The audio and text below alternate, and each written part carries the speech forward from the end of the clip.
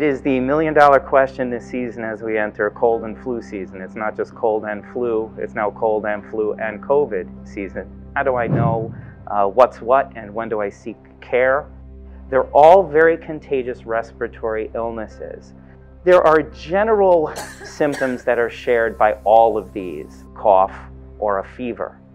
And if we were going to compare flu and COVID, we would say that probably, again, generally speaking, the most common symptom that they would share would be a dry cough and a fever.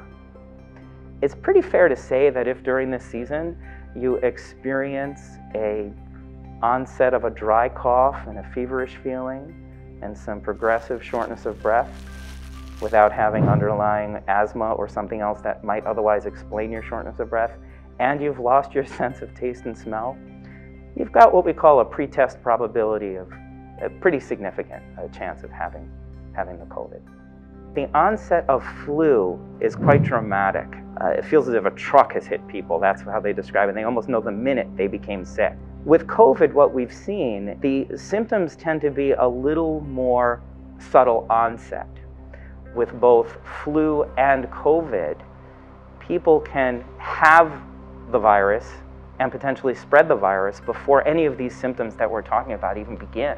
People can have the flu and potentially spread the flu for up to a day before symptoms may begin. With COVID, a person may be able to spread COVID for up to a couple of days before the symptoms begin. We do know that it is certainly highly contagious, as the flu is as well.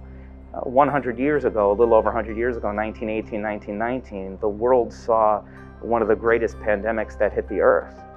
And what we hopefully are learning now is that the importance of wearing a face mask when out in public or particularly indoors, unable to maintain uh, significant physical distancing, is the most important way to mitigate the spread of COVID.